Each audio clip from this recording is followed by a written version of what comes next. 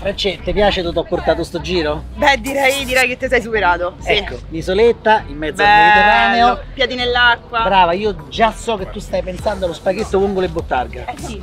Yeah, niente spaghetto Niente. vongole e bottarga, ragazzi, siamo qui a Panarea, meravigliosa isoletta delle isole Olie in Sicilia, perché stiamo andando da Antonio che ci farà assaggiare, o meglio proverà a, farsi assa- cioè a farci assaggiare la bistecca più buona d'Italia. Wow. Quindi niente pesce tesoro. Cioè tu hai trovato uno. Sì. Su un'isola, Sì. in mezzo al mare, l'isola Sì, è così che sì. fa la carne. Devi sapere, amici di Brace Ancora, se c'è qualcuno che fa una bistecca nel mondo, noi lo troviamo e lo andiamo a trovare. Però il ristorante sta qua sopra, incontriamo Marco, figlio di Antonio. Figlio d'Apollo? No, non è figlio di Apollo, però in teoria siamo tutti figli di Ok. Apollo. Grande ristoratore, bellissimo personaggio, persona interessantissima. È pure bello. Secondo me c'ha anche un suo fascino, ma questo me lo dici te. Il ristorante sta a 300 metri sulla collinetta. Ma se No. beve? Se beve, se che- beve, se Vabbè, beve pure. ok. Andiamo, dai.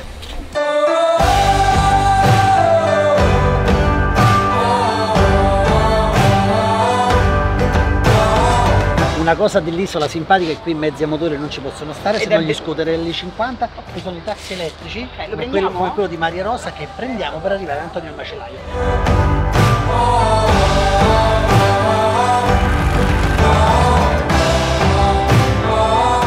Antonio il macellaio, carni alla brace, Panarea, ragazzi siamo arrivati, là c'è l'ingresso del ristorante, qui c'è l'ingresso della macelleria, ma prima di varcare la soglia di questo posto devo ringraziare la Mancini Market, azienda italiana che si occupa di vendere dispositivi per ristoranti e per macellerie, ovviamente parliamo di dispositivi professionali, la ringraziamo perché ci permette di fare questo viaggio alla ricerca della bistecca più buona d'Italia, tra l'altro la Mancini Market vende questi dispositivi per le cucine, per eh, le macellerie anche con la formula del noleggio operativo, è una formula molto utile, dovete comprare un frigorifero 3 euro al giorno, ve lo portate a casa. Vi lascio in descrizione tutti i link, seguiteli sui loro social per rimanere sempre aggiornati delle loro offerte. Grazie a Mancini Market. Partiamo dalla macelleria, dove già c'è il nostro uomo. Marco, eccoci qua, siamo arrivati. Signori, benvenuti. Marco.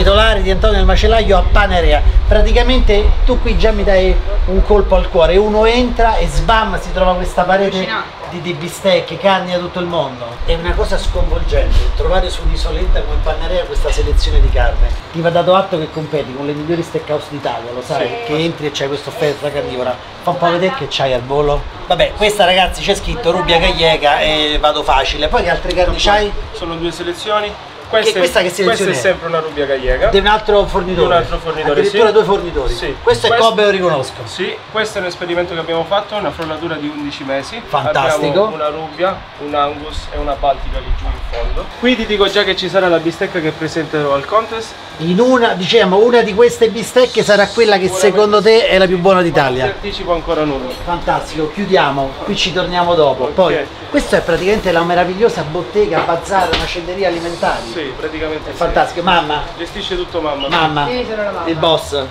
Mamma, il boss, giusto? No, io non sono il boss. il Sì, boss la è mamma è sempre il boss, la mamma è sempre il boss. Questo è il banco della macelleria. Praticamente la gente arriva, ormeggia, scende col tenderino, viene, Scende si la piglia la carne di Giuseppe Sì. e c'ha la faccia simpatica.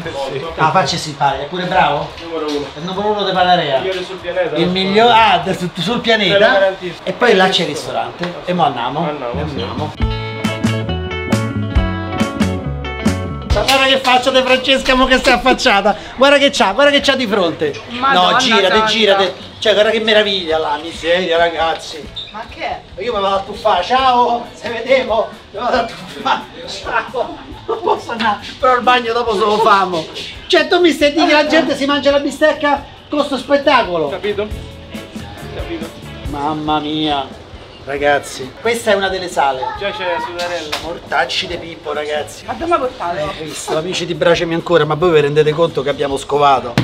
Mamma mia, comunque la storia di sto signore è meravigliosa, poi dopo se sedemo ma la racconti bene. Però non è finita, perché io scusate se tergiverso, ma ero emozionato da vedere questo posto spettacolare, con sta vista spettacolare, Francesca si sta ancora riprendendo. Marco, questo è il banco carni che i tuoi clienti la sera vedono. Sì. Arrivano, si scelgono la carne, la e tu gliela cuoci sulla brace. Qui a sinistra io vado a intuito abbiamo la Sicilia, no? Sì, Queste che sono? Questa è una salsiccia eh, fatta da noi con carne di maiale, chiaramente pomodoro, auricchio scarola. Buona. Questa è Polpette della mamma, queste sono incredibili, è uno dei nostri piatti più richiesti. la polpetta della La mamma, polpetta della ricetta mamma. segreta. Ricetta segreta. Queste sono le famose braciolette, no? Sì. Braciolette siciliane, messinesi. Sì, praticamente sì. Su a nord la braciola e la bistecca, qui in Sicilia ragazzi le braciole sono queste. Ma tu ci metti anche il pan grattato? Pan grattato all'interno, non Ah, è all'interno e non sopra. Ok, ci sono mille varianti sul tema. Quindi lasciamo la Sicilia qui a sinistra, ci spostiamo a destra dove incontriamo il mondo. Assolutamente Qua sì. c'è, guarda che roba che hai, ragazzi.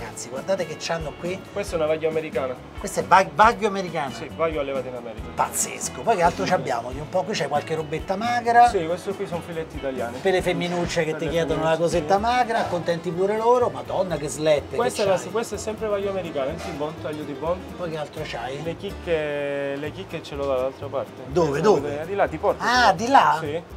Marco, praticamente tra i tre frigoriferi che tu hai con la carne in esposizione Sì. e il banco, ti assicuro che sei uno dei ristoranti meglio forniti d'Italia. Complimenti perché questo accade su un'isola. Basta cincischiare, tagliami la bistecca che secondo te dovrà Vincerà. essere quella più buona d'Italia. Ovviamente la bistecca la tagli te, Certamente. Giuseppe, macellaio di anni 58.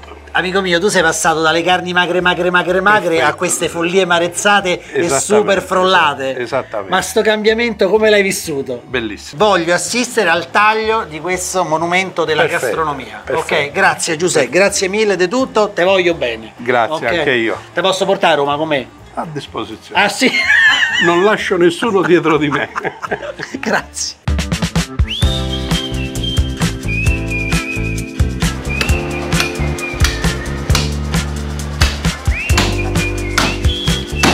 Signori, siamo di fronte eh, oggettivamente a una bistecca ben riuscita. eh. È inutile dire che il Wagyu, vabbè, lo conosciamo, le caratteristiche di questa carne extra marezzata le conosciamo. Chiedo scusa a tutti voi se a volte mi soffermo su questi particolari, ma a me ancora mi emozionano, ma emozionano tantissima gente. Questa è la bistecca che ci andremo a mangiare, ok? Eccola qua. E lei? Che dici? È lei, è Sei lei. convinto? Francesca, dagli un po' un'annusata. Guarda che bella. Grassetto, tanta roba. Tanta roba, sì. Sta bistecca promette molto bene, ragazzi. Molto, molto bene. Mamma mia. Ti piace? No, avete capito, ragazzi, la situazione? Giuseppe, il carpaccetto l'ha offerta a Francesca e non a me. Eh, certo. Che gran fio della ballerina, te possino, te Prima le possino. belle giornate. Eh, te possino, vabbè niente. Marco, guarda, io è un po' che non imbocco qualcuno, però vabbè, dai, per te faccio uno sforzo. Per Francesca mi viene più spontaneo. A Bravo. te ti è? Dimmi che ne pensi? Qualità. Qualità. E anche mortacci quanto è buono secondo te? Assolutamente. Perfetto, bene, ha detto lui, eh. Ci siamo ragazzi, è arrivato il momento della cottura. La cuoci te? No, guardate sto ragazzo, signori, sembra uscito da un libro di Emilio Salgari. Io non so tu dove l'hai presa la tua crew, ma solo bella gente, vedo. Solo bella gente. Caro, è tua cottura al sangue, mi raccomando. Grazie. E mentre la bistecca cuoce, io e Francesca ci dividiamo, lei scende in cantina a scegliere un po' di vini. Io mi voglio sedere un attimo con Marco perché voglio fare due chiacchiere con lui. Enrico, mi fa anche aprire la cantina, vado, eh? Madonna santa. Sceglierò 10 bottiglie, 5 che non c'entrano nulla, 3 che potrebbero entrarci ma non sono il top e 2 che sono perfette. Posso mettere le mani ovunque? Marco, tu sei un pazzo furioso comunque, fatelo dire. Adesso ti ho messo seduto perché voglio riassumere la storia di questo ristorante, la tua storia, porca miseria, tanta roba, dobbiamo però sintetizzarla. Quando nasce Antonio il macellaio? Nel 1970. Ma tu non sei Antonio. No, Antonio è mio padre. Antonio è tuo padre che ha una storia meravigliosa alle spalle. Sì, sì. Dalla Sicilia è emigrato. In Argentina. E quanto c'è stato in Argentina? 25 anni. Quindi lì hai imparato tutto ciò che c'è da sapere sulla carne. Diciamo che da quelle parti non si fanno parlare dietro quando c'è la carne. Direi di no. E che fa? Torna a Panarea e? E si inventa questo ristorante, inventa questo A ristorante. Panarea nel 1970 la carne. Sì. Bistecche, patatine fritte e poi è riuscito a creare tutto quello Papà che... era un visionario. Assolutamente. E io mi sa che ho preso un po' da lui. E mi sa di sì. E nel 1970 la carne a Panarea. Come reagiva la gente qua? Certo, chiaramente era un po' strano sentir parlare della carne a panarea perché chiaramente arrivi su un'isola dove governa il mare, governa il pesce. Diciamo che nel 1970 il Si mondo della carne era decisamente diverso. Tuo padre è stato un gran visionario, ha gettato veramente bravo. Per- quello dico, qui, qui ragazzi c'è davvero tanta storia tra questi tavoli, tra ste mura, in quel braciere. Ora nel 2019 papà va a grigliare con gli angeli. Sì. C'è un cambio, no? E c'è un cambio, diciamo, generazionale. Perché poi- Fisiologico. fisiologico, sì, perché comunque sia io ho sempre lavorato, ho imparato tantissimo da lui. Ristorante, Io scommetto proposte- che tu hai portato marezzatura e stagionatura e frollatura, vero? Sicuramente. Quindi, Quindi, un'altra botta di divisione oltre. di sapore.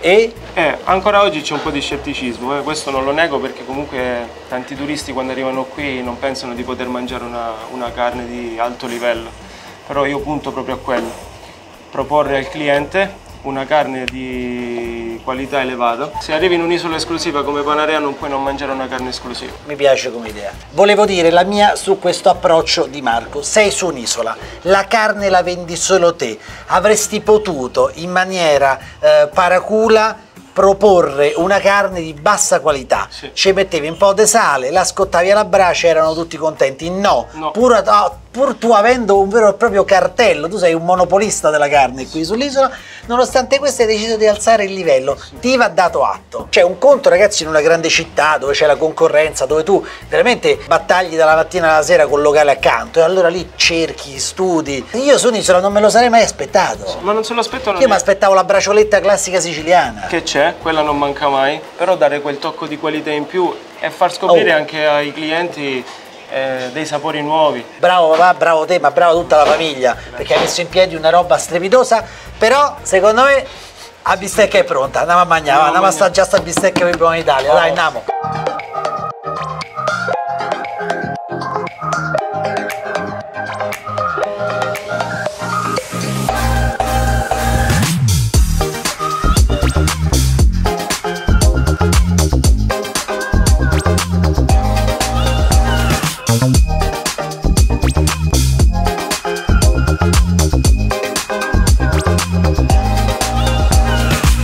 Questo è il momento che preferisco.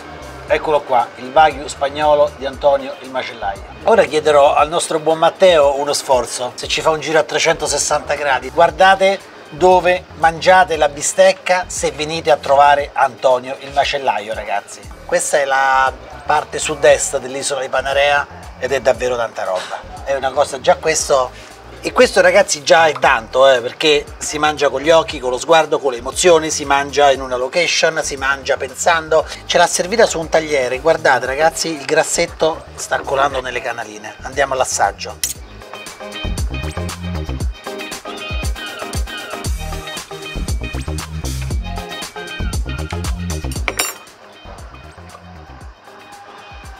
Mortacci quanto è buona! Porca miseria! Che roba monumentale! Mamma mia! Prova un confettino di grasso, ragazzi. Guarda, guarda. Sbeghete, madonna mia, ragazzi!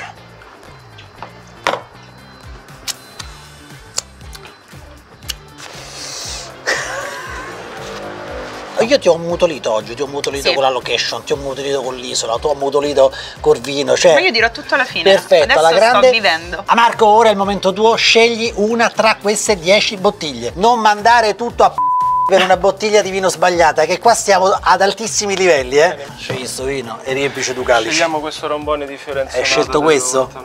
Va bene?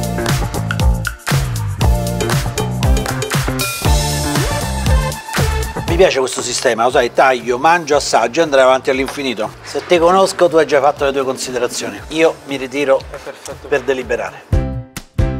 Amici di Pracem ancora, battute conclusive. La carne che mi ha fatto assaggiare Antonio era una carne di serie A, eh, è un prodotto ultra ricercato, non si trova tanto in giro, sono molto felice di averlo assaggiato. La cosa che mi è piaciuta è averlo assaggiato su un'isola, perché il discorso l'abbiamo già fatto, non è da tutti portare certa carne su un'isola dove gli spostamenti sono difficili. Eh, quello che mi è piaciuto della carne è che me l'ha data fresca e la freschezza gli ha dato quella nota croccante al morso eh, che ha sprigionato un meraviglioso mix, croccantezza e esplosione del gusto del grassetto che fuoriusciva. Sono rimasto mostruosamente sorpreso, anche perché poi ragazzi mangiare la carne con quello sfondo in questa location ti riempie la pancia e ti riempie l'animo. Esco quindi da questa esperienza panarea da Antonio il Macellaio arricchito, arricchito anche umanamente per la grande passione che ci mette Marco. Dal bagno degli uomini è tutto, un saluto, che la Brace sia con voi e adesso sentiamo Francesca che ci dice. Conclusioni finali. Ora, per quanto riguarda l'abbinamento, eh, devo dire che è stato perfetto. Io ho messo due bottiglie che erano perfette, l'altra non vi dico qual era e questa era una delle due perché ha 22 anni e questa carne aveva bisogno di avere questa profondità, quindi l'abbinamento è stato fatto sicuramente per assonanza. Bravo Marco, assolutamente. Ho trovato in questo posto la stessa cura, la stessa ricerca. Grazie infinite per questa esperienza magnifica. Ciao!